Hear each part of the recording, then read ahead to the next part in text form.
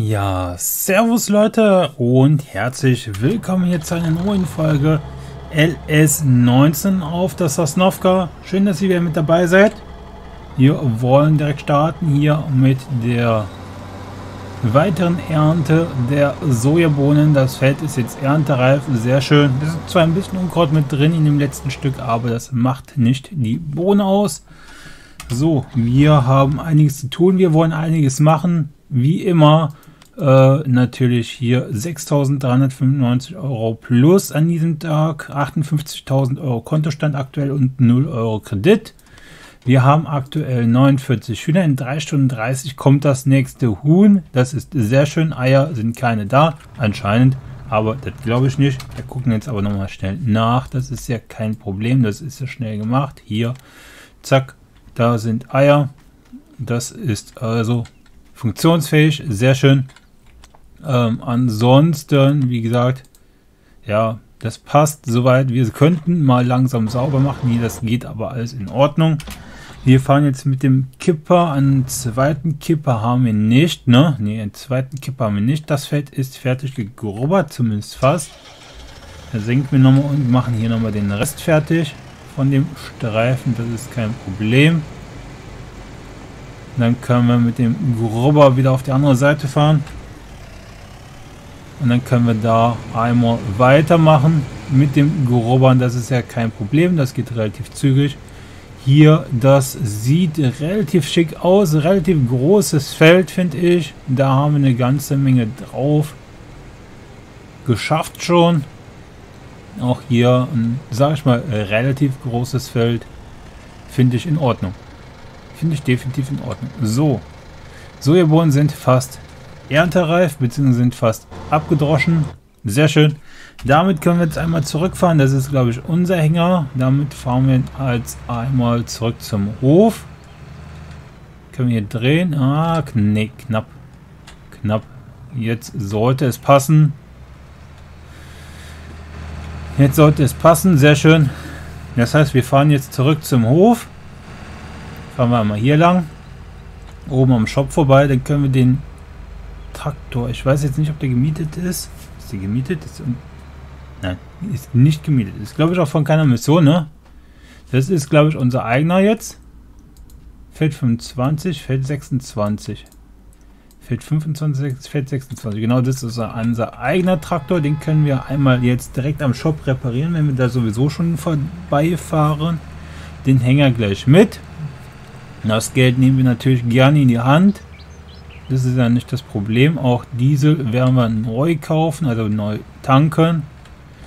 Äh, werden wir machen. Das ist in Ordnung. Klar, müssen wir sowieso machen. Sonst fahren wir bald halt nicht mehr. Ne? Und das wäre nachteilig. Egal. Das kriegen wir hin. Da vorne ist die Tankstelle. Da müssen wir einmal dran vorbeifahren. Und dann am Shop können wir einmal den Traktor und den Kipper reparieren. Das ist ja kein Problem. Das geht relativ zügig.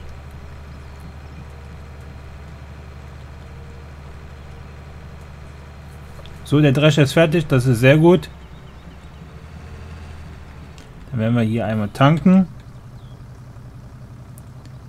Da geht natürlich viel, viel Geld bei drauf, aber... Okay. 172 Euro Kraftstoffkosten, das ist in Ordnung. Ich meine, wir haben so viel Strom bekommen, das könnten wir theoretisch verkaufen, dann geht das eigentlich relativ easy, ne? Da sehe ich jetzt nicht das große Problem drin, dass wir da irgendwas jetzt investieren müssten, zumindest zeitnah in äh, Dieselproduktion oder sowas. Das sehe ich im Gegensatz zu, im Gegensatz zu Solaris ein bisschen anders. Aber gut, jeder sieht das anders. Er sieht Missionen und äh, Holz eher als äh, suboptimal. Ich sehe das mit der Dieselproduktion eher als suboptimal. Wie gesagt, jeder sieht das anders und äh, von daher wird das auch interessanter, das ganze, die ganze Challenge. Jeder sieht das so, wie er das sieht und ja. So, einmal reparieren. Das kostet gerade mal 500 Euro, ist in Ordnung. Damit ist er aber auch wieder komplett in Ordnung. Auch hier den Hänger werden wir direkt einmal reparieren. Die Möglichkeit haben wir und dann nutzen wir es natürlich auch.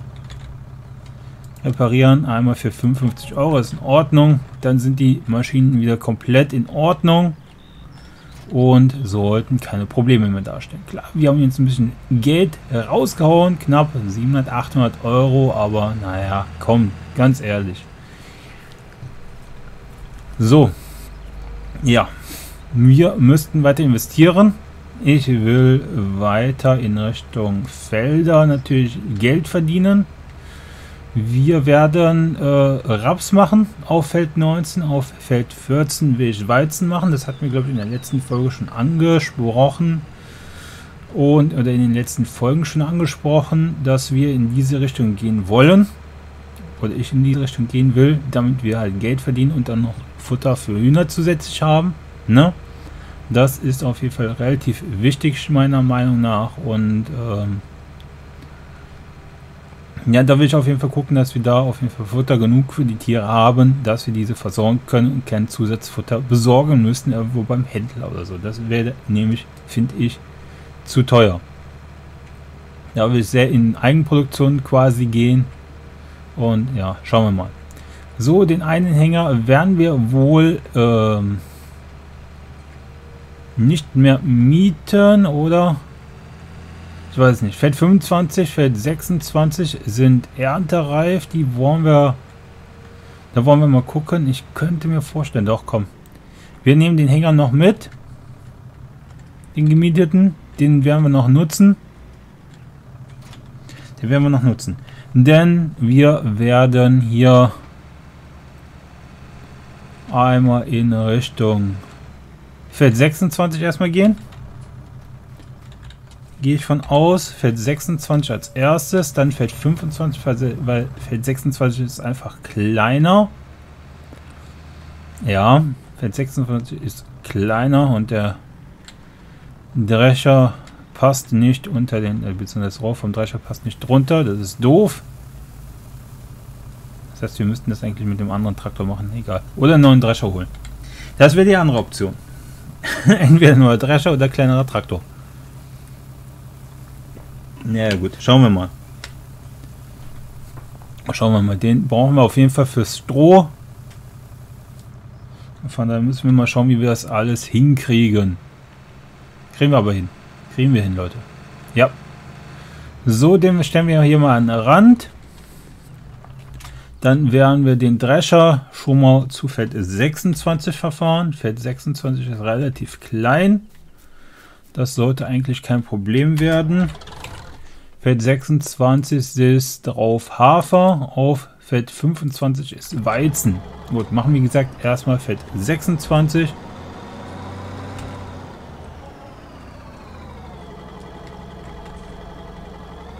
Da fahren wir am besten mal hier lang. Äh, dann hier runter. An den ganzen Strohballen vorbei, ne?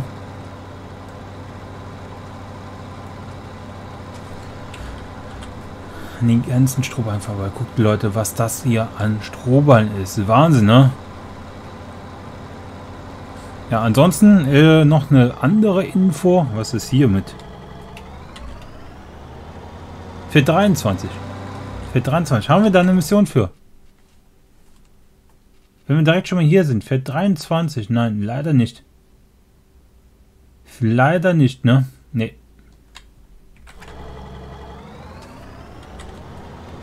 Schade. Wäre eine coole Sache gewesen. Gut, fahren wir weiter zu Feld 26. Die Felder unsere sind ja nicht gerade erntereif. Diese müssen ja erst noch wachsen und alles. Von daher würde ich sagen, machen wir jetzt mit Feld 26 weiter, damit der Drescher in Betrieb ist. Rumstehende Maschinen kann ich eigentlich ungern nur haben. Klar, irgendwo ist das anders nicht möglich, aber wenn es möglich ist, ne, dann lieber Maschinen in Betrieb haben, weil dann stehen wir Maschinen, die kostet nur und äh, bringt kein Geld ein. So sehe ich das zumindest.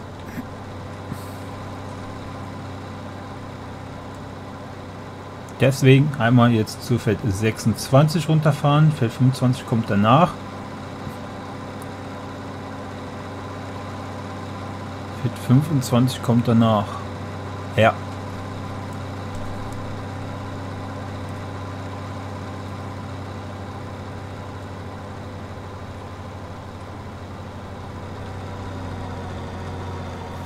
So, einmal runter.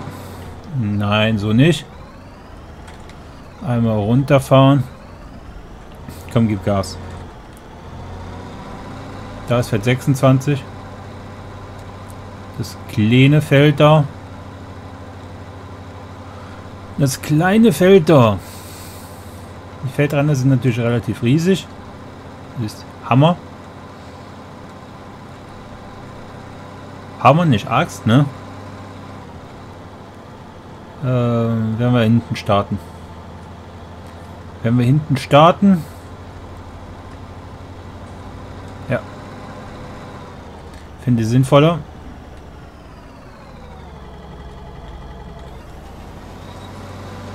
Kann der hier loslegen. Der hier kann dann die Sojabohnen noch ins Lager bringen, ins Silo.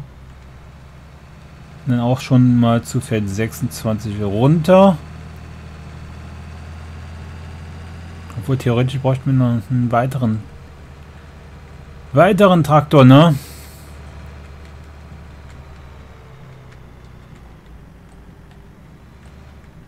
Ja, wie machen wir das jetzt? Wie machen wir das jetzt? Weiteren Traktor mieten oder? Ich glaube, ist nicht sinnvoll. Ist, glaube ich, nicht wirklich sinnvoll.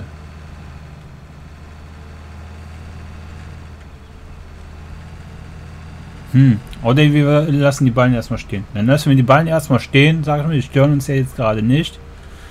Dann werden wir die später wegschaffen. Ist ja nicht so tragisch. Unten an Feld 35 haben wir auch noch einiges an Ballen stehen. Okay. Ist halt so. Ist halt so. Dann müssen wir das erstmal so machen. Während wir dahin fahren, kann der andere doch schon mal hier starten mit der mit dem Grobber, ne? So, dann fährt startet der schon mal. Da müssen wir den Motor natürlich wieder starten. Die hatten wir ausgemacht. Ähm ja, da müssen wir einmal runter zu Feld 26 jetzt, damit wir den leer kriegen.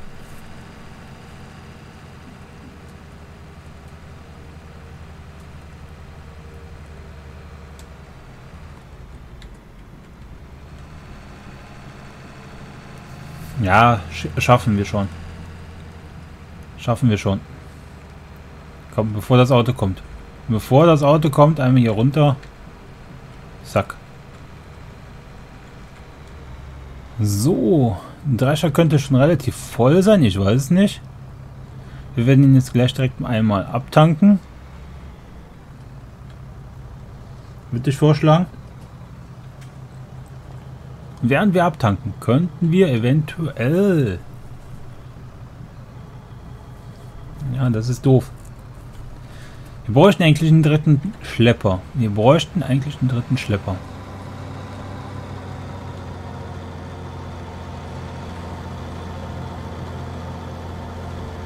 Muss eigentlich nichts Großartiges sein. Es muss ja nichts unbedingt Großartiges sein. Einfach der, der hier einen Hänger ziehen kann, wirst du und ähm, relativ preiswert ist.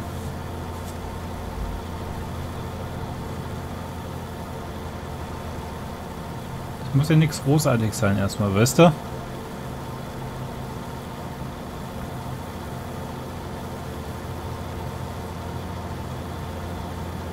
Hm.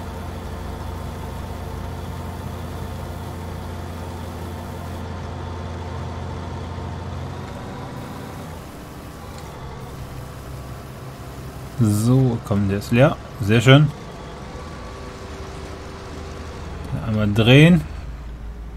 Da haben wir drei Spuren schon fertig. Hier kriegen wir natürlich wieder neues Stroh raus. Das ist natürlich vorteilhaft. Haben wir Stroh ohne Ende. Der hier ist dran. Das heißt, wir können gerade nichts mehr tun. Ansonsten, die Einsatz wird natürlich gleich direkt im Anschluss stattfinden. Da müssen wir nach gucken. Ansonsten könnten wir hingehen und Bäume fällen. Bäume fällen schon mal Kleinsägen, damit wir die ordentlich transportieren können. Ne? Wenn wir den Baum als nächstes nehmen, den Baum als nächstes, werden wir den hier hinschmeißen, wir werden den da hinschmeißen. Die Schaufel? Ist hier auf wieder hier drin oder was? Ja, Schaufel ist wieder drin. Nice. Gut. Ähm, Kettensäger raus. Ne? Ähm, den Grund, warum ich die Bäume fälle, wie gesagt, habe ich ja schon eigentlich erwähnt. Ich möchte im Prinzip hier das äh, so haben, dass wir hier die Möglichkeit haben, wenn wir Geld brauchen, mal schnell viel Geld brauchen, ne, wisst ihr, dass wir hier in Richtung Holzwirtschaft gehen können und direkt am Hof im Prinzip ein Stamm nach dem anderen schnell mit Harvester mieten oder ihr, eben schnell mal durch und dann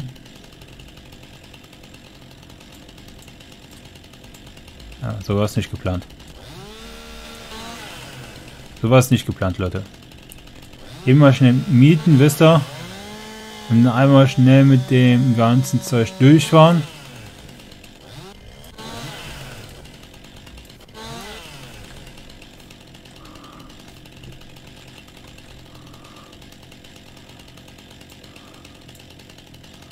Und äh, ja.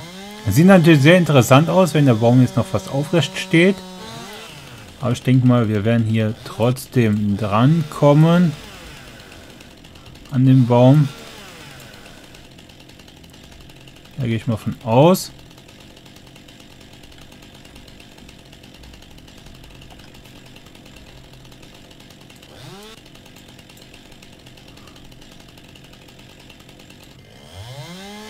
den Ast ab.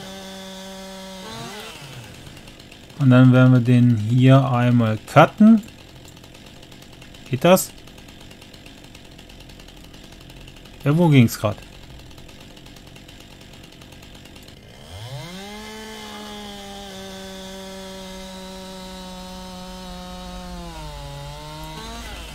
Das ist sinnvoll? Nee, wäre glaube ich nicht sinnvoll, ne? Dann kippt er mir hier noch aufs Haus, ne? Dann kriege ich den gar nicht mehr runter, was?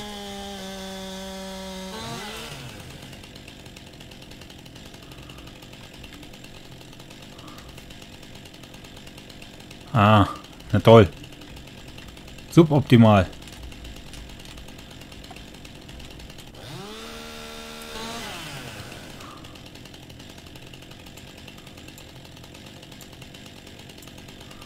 Suboptimal.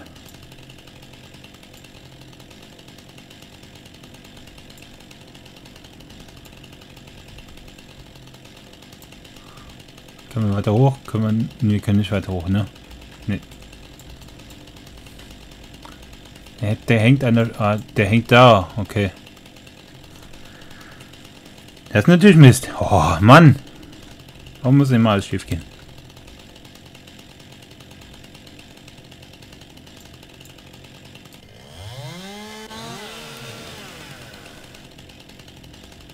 Warum muss immer alles schief gehen?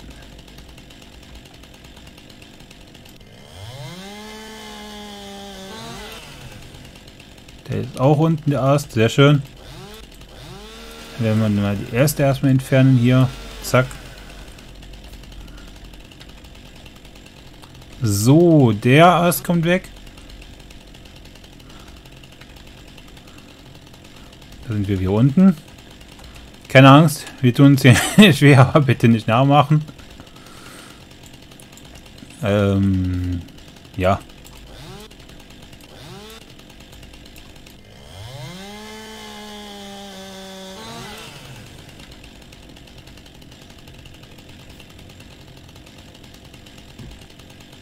Sehr schön, der Baum fällt.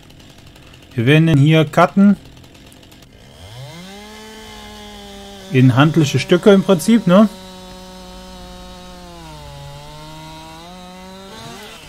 Die wir eventuell dann transportieren können.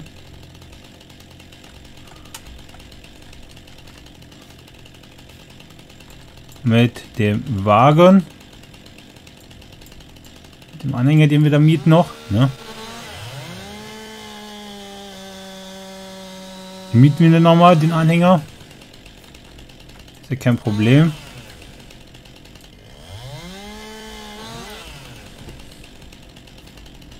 Da ist der Cut. Dann machen wir den nächsten Cut hier.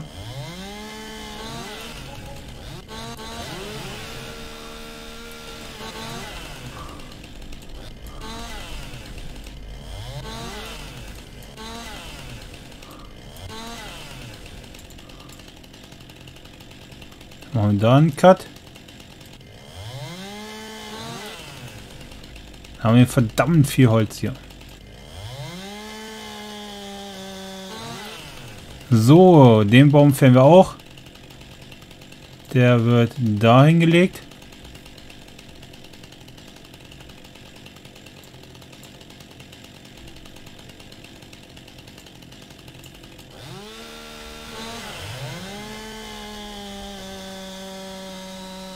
Zack. Ich hoffe, dass der zumindest so fällt, wie er eigentlich sollte. Nein, natürlich nicht.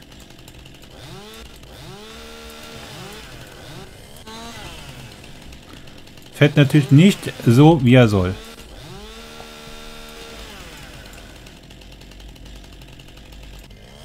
Ist typisch, Leute. Das ist typisch. Ah, okay.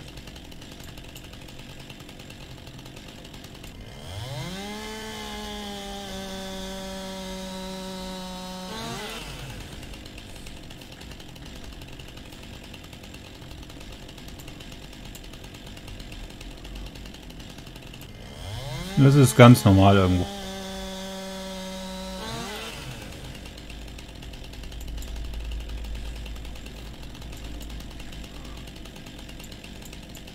Das ist ganz normal irgendwo, Leute. Ich glaube, Solaris kennt das auch. Das, was man will, kriegt man nicht irgendwie. Solaris will ja auch da, dass der Regen aufhört, ne? Aber wird's das? Nee. Natürlich nicht.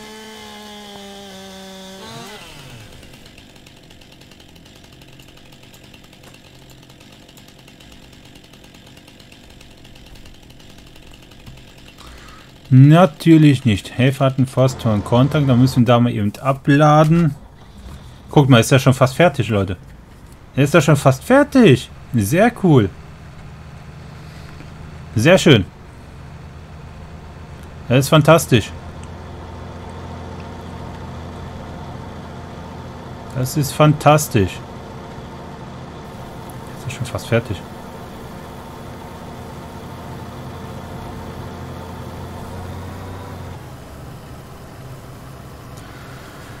Sehr schön, dann können wir das Stroh auch pressen. Zu Ballen. Und direkt mit abtransportieren dann. Das geht. Das geht voll klar. So. 4300 Liter Hafer. Wahnsinn. So, wir werden jetzt gleich direkt die Einsatz starten auf Feld 14, 15, äh, 14, 19. Denn der Grube ist fertig. Dafür haben wir jetzt gerade keine Verwendung mehr. Den Grober packen wir weg. Ach doch, da. Da haben wir noch einen Streifen. Da haben wir noch einen Streifen stehen. Den müssen wir natürlich ausgleichen. Äh, Dünger müssen wir noch einmal. Das auf jeden Fall. Das ist ja auch kein Problem.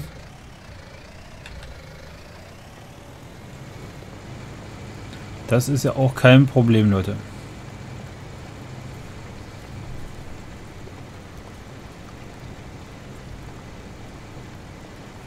Und dann schauen wir mal, wie es weitergeht. Klar, Bäume werden nur zwischendurch gemacht. Das habe ich auch so vor. Grober pack, packe ich weg. Dann nochmal die Düngung aus.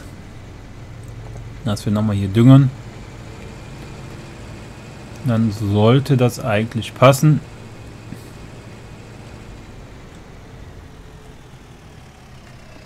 Dass wir da nochmal ordentlich was zusammenkriegen, Leute. So, wir gucken mal auf die Felder. Wie sieht's aus? gegrubbert, genau. Sonst muss nichts gemacht werden. Wir müssen die beiden Felder definitiv düngen. Ist schon mal gut zu wissen.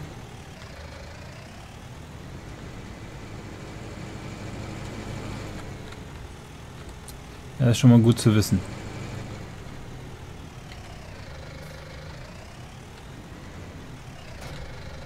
So, einmal düngen. Danach kommt die Einsaat.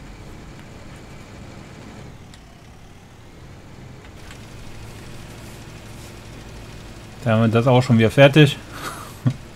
Das geht Schlag auf Schlag, Leute. Schlag auf Schlag. Und ist mega gut.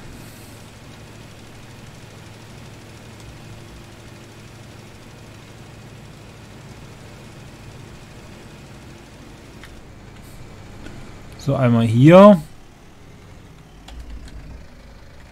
Dann die nächste Spur.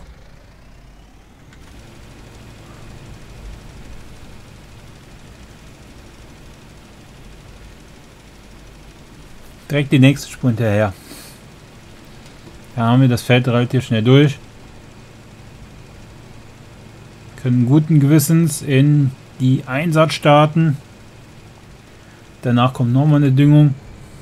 Dann sollte das eigentlich passen.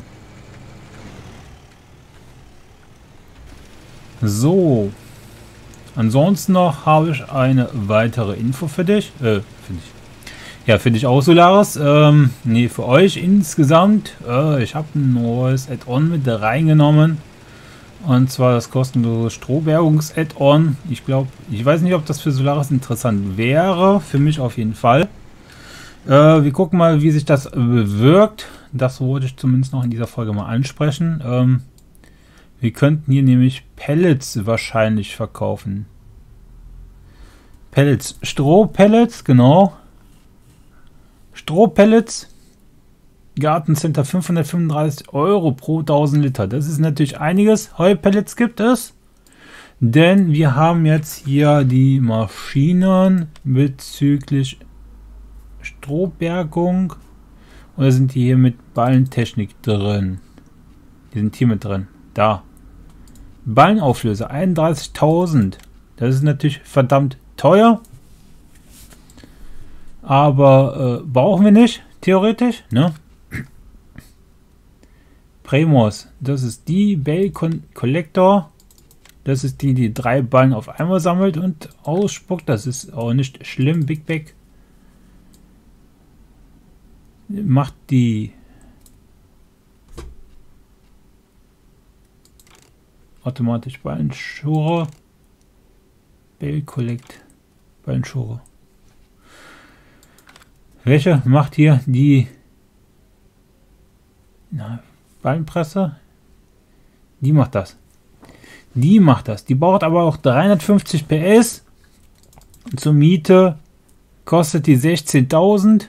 Das ist natürlich relativ teuer. Das ist natürlich relativ teuer, ne? Aber das kriegen wir auch hin. Jetzt kriegen wir auch noch irgendwann hin, von daher, da müssen wir wenig sorgen, wie immer.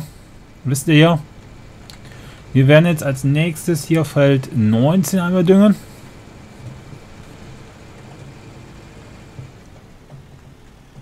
Feld 19 einmal düngen, Leute. Ne? Dann können wir in der nächsten Folge in die Einsatz starten, dass wir das fertig kriegen.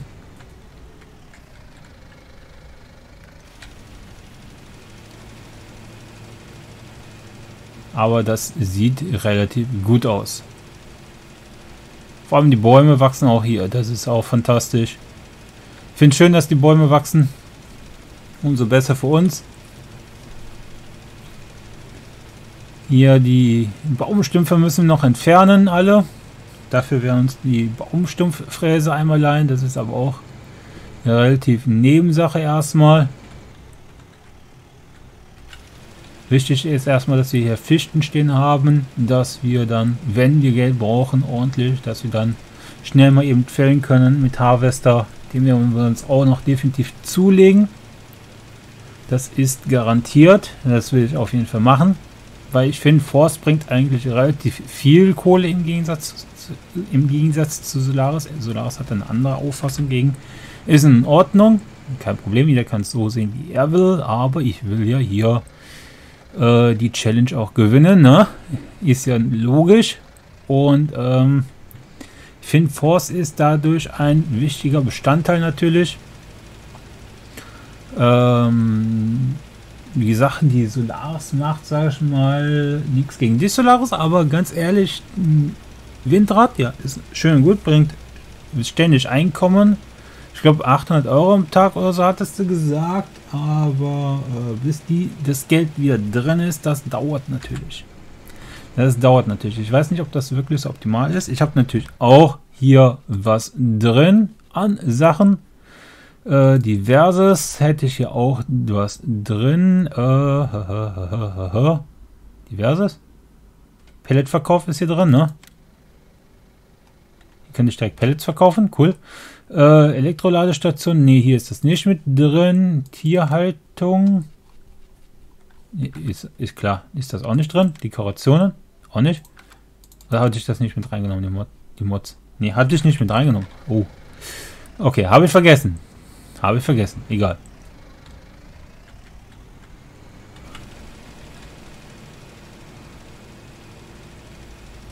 So, müsste das komplett gedüngt sein.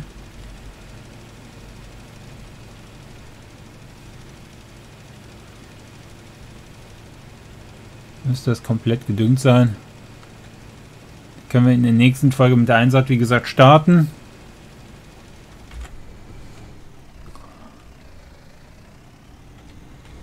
Hier hängen wir wieder im Baum fest.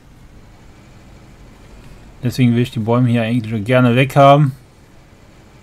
Aber gut, das ist eine andere Sache. Das ist wieder eine andere Sache.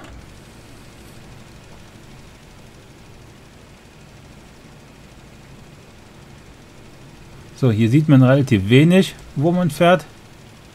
Ah, da ist das. Okay. Ja, Nacht ist nicht gerade vorteilhaft, klar, aber gut, wir müssen da durch.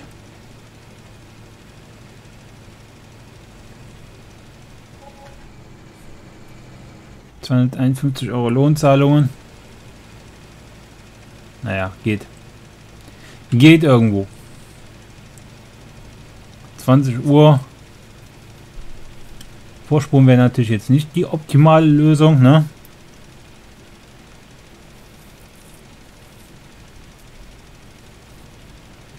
Weil wir den Einsaat noch nicht drin haben. Die Einsaat würde ich schon gerne erstmal drin haben, aber gut. Hier müssen wir wohl doch noch in der Nacht arbeiten. Ei, ja, ja, ja. Ist Problem, dann seht ihr auf YouTube halt ein bisschen weniger, aber gut, ist halt so. Den stellen wir direkt hier hin. Dann können wir in der nächsten Folge direkt mit der Einsatz starten. Holen uns die Sämaschine ran. Die müsste hier vorne direkt drin stehen. Passt auf, ich versuche mal was. Ich versuche mal was. Ich versuche mal hier so gegen den Baum, ne? Versucht immer irgendwie hier zurecht zu rücken.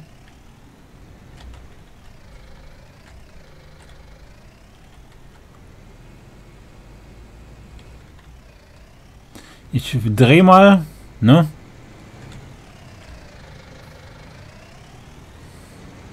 Und fahre dann mal so dagegen. Fahre ich mal so dagegen, ne?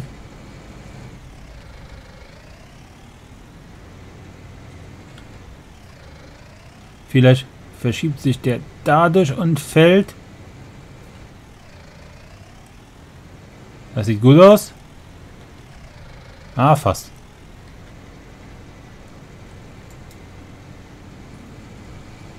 Traktor wird zu einer Forstmaschine umgearbeitet.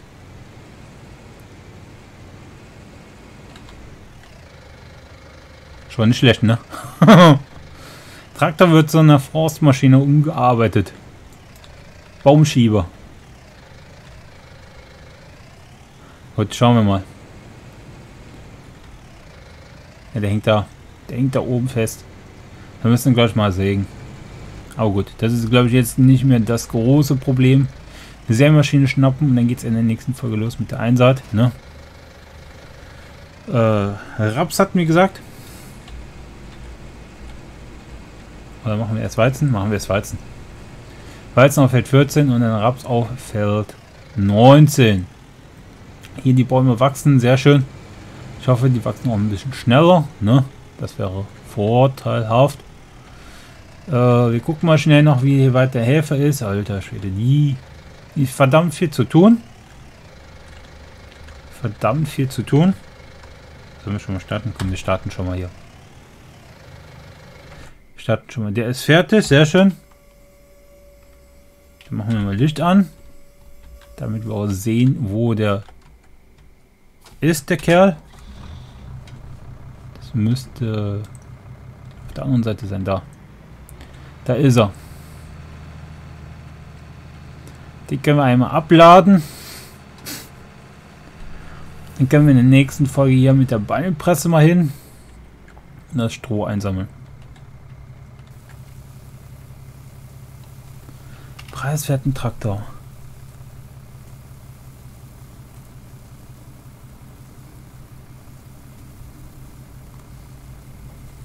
Einfach zum Ziehen der Hänger, wisst ihr? Hätten, wie, wie wär's mit dem Hürlimann? Wir haben doch den Hürlimann hier als Mod, ne? Äh, als, als Dings. Ne, Fiat.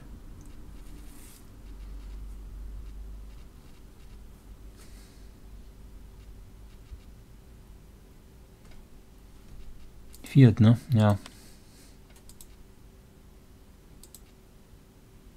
Armor-Track. Der Armor-Track ist gar nicht mal so schlecht. 110 PS, ne?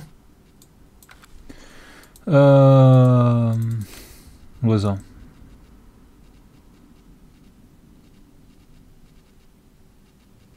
Wo ist er? Ist er hier unter Kompakttraktoren? Ja, hier. Armer Trick. 92.000, 4.000 Euro, 4.600, 92 Euro Mietkosten, Leasingkosten. Pro Arbeitstag 29 pro Arbeitsstunde. Oh. Hm.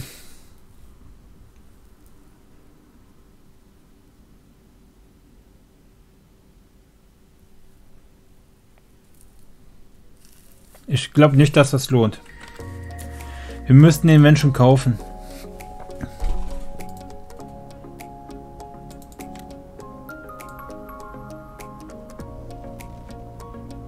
Da würde sich der eher lohnen. Bührer.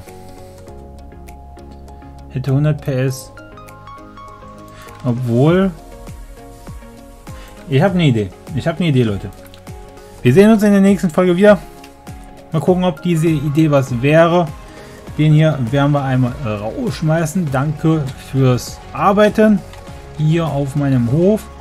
Wir sehen uns in der nächsten Folge wieder. Von daher, wir sehen uns. Bis dahin. Servus und Tschüss.